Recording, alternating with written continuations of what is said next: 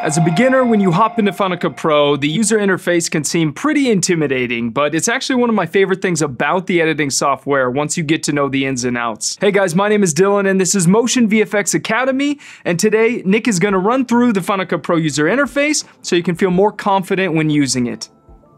One of the reasons why Final Cut is so fast to edit with is by design. The app is split into different areas to best streamline the editing process.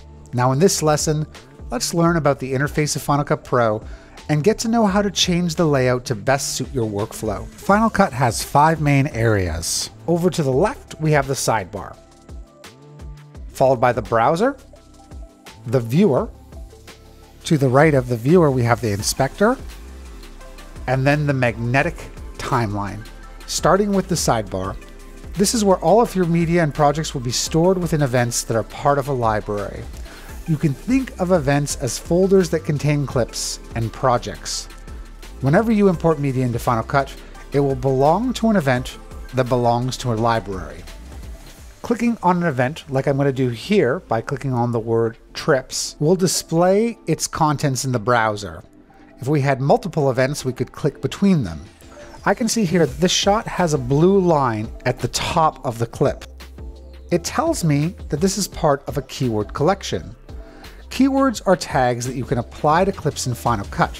If any clips have keywords assigned to them, you can view the different keyword collections by simply clicking on the disclosure triangle next to the event. Right now I have four keyword collections, one for aerial shots, golden hour, people, and water.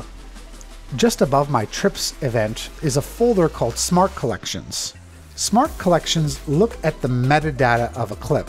If we click on the disclosure triangle next to Smart Collections, we can also see all of the assets that we bring into our events based on what it is. If I click on All Video, or even just looking at audio only, or stills within a project, they are all revealed by the smart collections that come with a library. Smart collections make it quick for us to view media types like this. Now I want to head back to the beach and travel shots library and scroll to the top. Now when we look at most of the assets contained within this library, we see that our stills and video are represented by thumbnail images. But when we start to scroll down to see the audio assets, we won't actually see visual images. Instead, we'll see a waveform. At any time that we want to preview a clip, we could select it, and over to the right, it's going to appear in the viewer. Because skimming is enabled, we can scroll across a clip to any frame, and that preview is going to update within the viewer. Now, when you have a lot of assets in a library, it's also beneficial to search for content. One way that we can do that is to click on the magnifying glass icon, which is going to toggle the search field. In this case, I'm going to type in the digits of two clips that I know exist within this library, and we can see that it's filtered down to those two clips.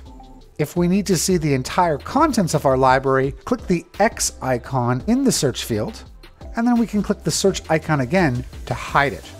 We can also categorize our clips by marking them as favorites. One way to do so is to select a clip and press the F key.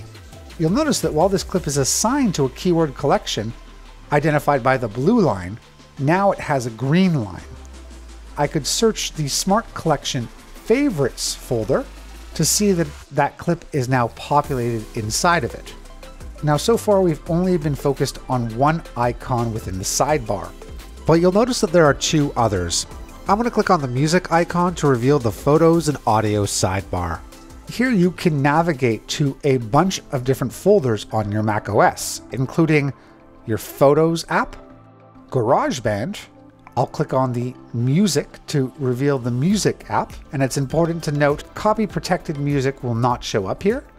And then Sound Effects. For any reason that you don't see the sound effects that I do, note that under the Final Cut Pro menu, you can easily download additional content in order to use this. The next icon over is the Titles and Generators sidebar. Final Cut comes with a lot of different titles, and if I scroll down, I'll have to mention that there's some incredible ones from Motion VFX. Now, at any time, we can skim over any of these assets in order to preview what we have here. The same thing is true of the generators area. Next, we have the viewer. This is where we're going to preview clips from any of these windows. Now I'm going to head back to the Final Cut library and select the beach and travel shots. Right now, this viewer window switches between assets that I select within the browser and assets that I select within the timeline. If you need a dual display, one for the browser and one for the timeline, simply go to the Window menu and under Show in Workspace, choose Event Viewer. Now the selected clip inside of your library or your event will show up on the left, and wherever you are in the timeline will show up on the right. If we look at the viewer on the right, at the top we can see that it gives us the frame size, the frame rate, information about the audio, the name of the actual project that we're working with, we can see the zoom level of our clip, and then a bunch of options under this view menu. Now options continue at the bottom of the viewer. Here we have options for making transformations to our clip, cropping and distorting, we have automatic audio and color correction enhancements, speed changes. In the middle, we have the time code. We can display the audio meters by showing or hiding them by clicking on the icon. And to the far right, the ability to have full screen playback. I want to press escape to exit. Now just to the right of the viewer is the inspector, this is going to reveal information about whatever clip is selected. If I select the clip here in the timeline, you'll notice that information shows up about it, about its transformation and crop settings. I'm now going to deselect the clip and now just close the inspector. Now I'm going to head to the bottom portion of the Final Cut interface where we have our timeline. This is where we're going to add, edit, and arrange your clips to make a movie. So this includes all of the editing decisions made in regards to which clips I've chosen, where I have placed them, and links back to the original media sources.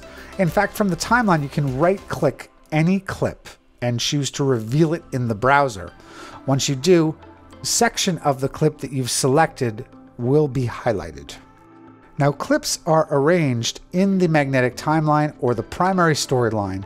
In fact, the taller clips here are on the primary storyline. Now, you can add cutaway shots or titles as well as audio as connected clips. In this instance, we have a title at the beginning of the project and the end of the project, and then our audio here at the bottom connected to the first clip. The magic part about connected clips is that if you take a clip from the primary storyline and you decide to move it within the magnetic timeline, the connected clip comes along for the ride. I'll make sure to press Command Z so this goes back to its original place. As we also look at our timeline, you'll notice that clips have a different color. Our titles have a color, our audio has a color, and many of my clips have a different color because I assigned it a various role color, which is a conversation for another movie in your top center of your open project exists exactly where you are in the timeline and the full duration of your project.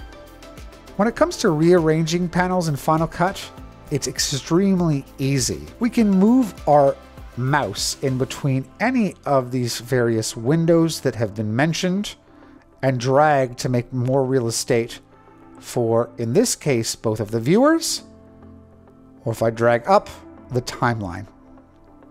In the timeline, we can also make certain clips bigger than others by going to the Clip Appearance menu.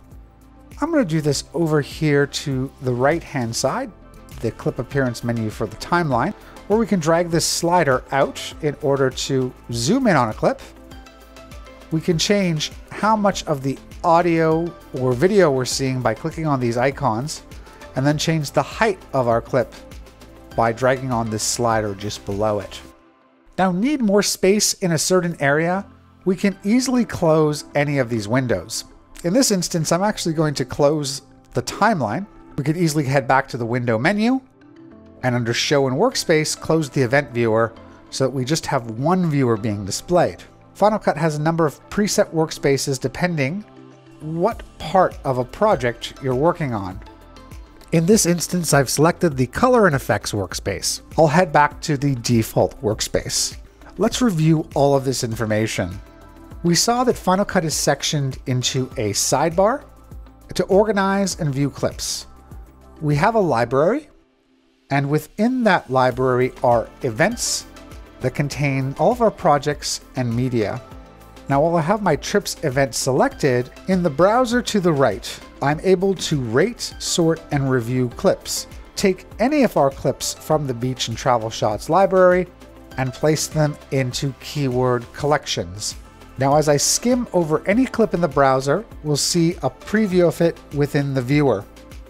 We also have full screen controls, and by clicking on this icon can reveal the audio meters. Project contents can be viewed in the magnetic timeline. Here's where we're going to assemble shots on a primary storyline. I'm going to press Shift Z just to fit all of the contents of this project so we can see the connected clips.